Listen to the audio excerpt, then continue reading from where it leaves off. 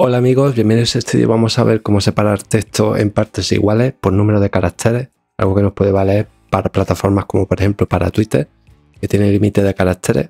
Tengo aquí esta página preparada, la voy a copiar, la dejaré en la descripción del vídeo. Vamos a usar esta página web que tiene una herramienta muy útil eh, para estos casos en los que necesitamos dividir un texto en varias partes. Simplemente pegamos el texto que queramos.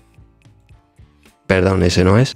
Este sí que es más largo. Bueno, Bajamos hasta aquí, hasta el separador, vamos a escoger longitud. Aquí ponemos el número de caracteres que se van a quedar en cada parte del texto.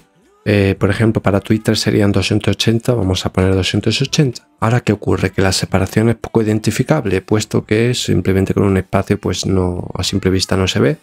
Vamos a escoger Custom. Aquí vamos a poner una barra oblicua. Bueno, lo tengo aquí más abajo. Esto es lo que tienen que copiar, lo pegan aquí, que es una nueva línea, yo voy a poner dos. Con esto tenemos el texto dividido en todas las partes necesarias para que cada una se quede con 280 caracteres.